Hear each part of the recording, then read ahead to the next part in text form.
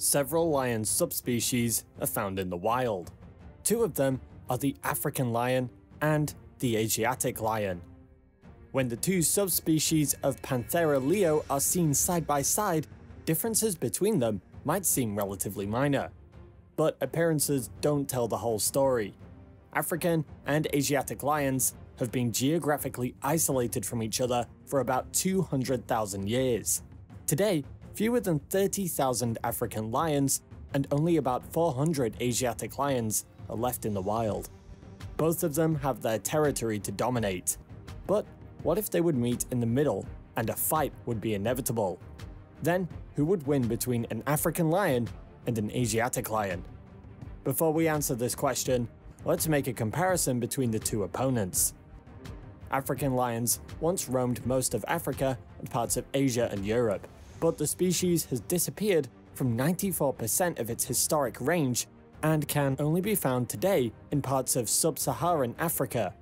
These lions mainly stick to the grasslands, scrub, or open woodlands where they can more easily hunt their prey, but they can live in most habitats aside from tropical rainforests and deserts.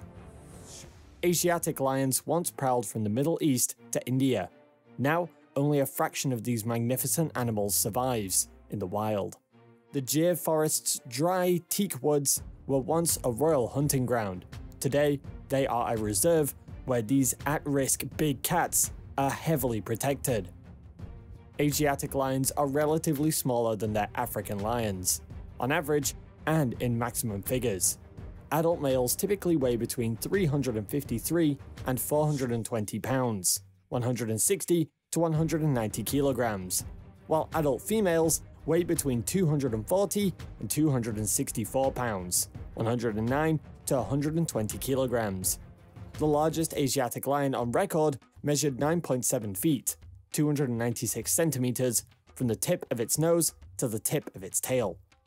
Male African lions typically weigh between 320 and 500 pounds, 145 to 227 kilograms in weight, with an average of around 386 pounds, 175 kilograms overall. The largest African lion hunted on record weighed 690 pounds, 313 kilograms. Females typically weigh more than their Asiatic cousins. The longest African lion measured around 10 feet, 310 centimeters, from nose to tail tip. The male Asiatic lions have sparse and exceptionally short manes, with its ears visible. Another standout mane feature is the colour. The short mane is dark and less developed. Male African lions have a more prominent, fuller mane that covers the whole head and falls back over the shoulders. The mane signals how healthy a male is to females, which they use to attract them and to intimidate other rivals. Asiatic lions have more pronounced tufts of hair on their elbows and tails compared to their African counterparts. The tail tuft covers the whole back area of the tuft, and its function is yet to be determined. African lions have minimal tufts of hair on their tails and elbows. Other than the male's sparse mane, the most distinguished characteristic of the Asiatic lion is a longitudinal fold of skin that runs along the belly. This trait is found in all Asiatic lions, and very rarely in the African lions. Interestingly, those from the West Central Africa region and the Barbary lions have the same belly fold. Around 50% of Asiatic lions have what are called bifurcated infraorbital foramina. These are small holes in the skull that allow nerves and blood vessels to pass to the eye. If a lion's skull has two of these, it's an Asiatic lion. For whatever reason, African lions only have one infraorbital foramen. Their eyesight is just as strong as the Asiatic lions, so there's no particular benefit to having two infraorbital foramina versus just one. Lions are highly sociable and live in social units called pride. Asiatic pride tends to be smaller than their African counterparts. The largest recorded Asiatic pride included five adult females, but most just have two adult females. The reason behind this is that Asiatic lions prey on smaller animals, which makes sense to have a smaller attacking force. Another possible reason is the size of their habitat. Gir National Park is not that big, and the hunting space is too constricted for the lions to operate in a large pride. In Africa, these prides include an average of 4 to 6 females, their cubs, and 1 to 4 male lions. The faster, more agile females do the hunting, while the larger male lions patrol and defend the pride's territory. The females in a pride usually give birth at the same time and raise their cubs together in a creche or nursery. Male Asiatic lions do not live in prides. In fact, they tend to only associate with female lions when mating or at large kills.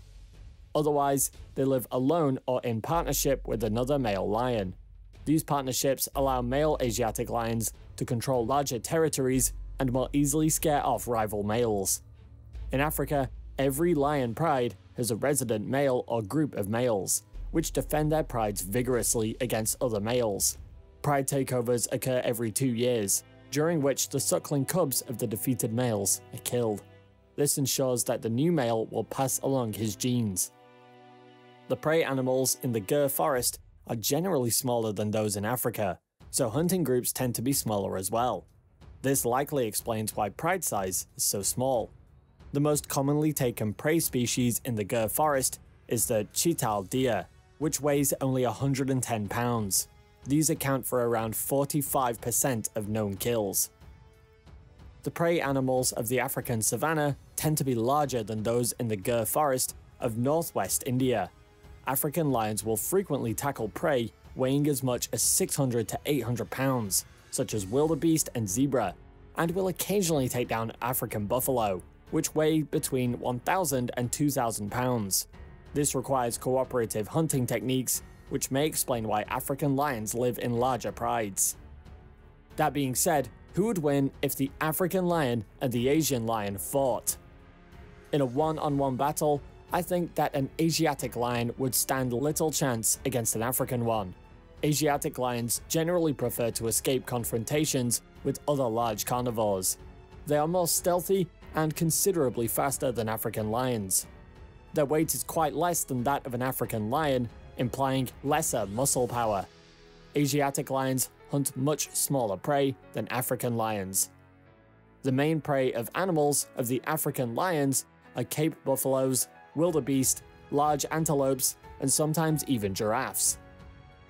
They need immense muscle power and strong arsenals like canine teeth and retractable claws to wrestle down large prey. They are nature's perfect wrestlers and have strength in numbers. Furthermore, the abundance of prey and other natural resources are far better in the case of African lions. Asiatic lions are restricted to a single national park in the world, in India, and there simply aren't many resources to sustain large prides and powerful lions because of the reduced gene pool.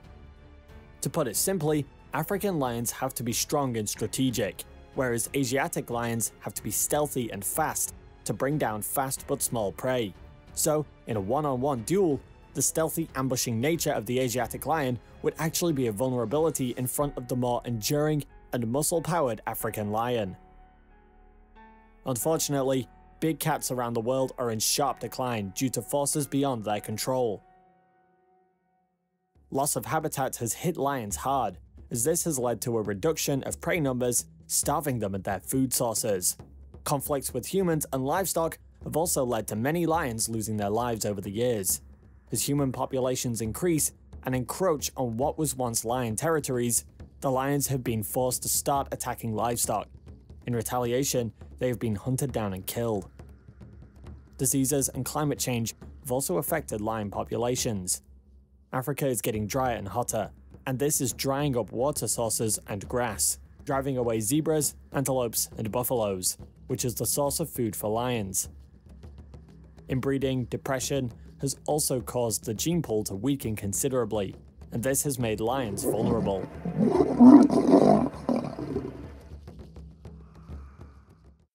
That's all for today. If you enjoyed this video, don't forget to like, subscribe, and share it with your friends. You can also leave a comment with what you would like to see in the following videos. Thanks for watching, see you next time.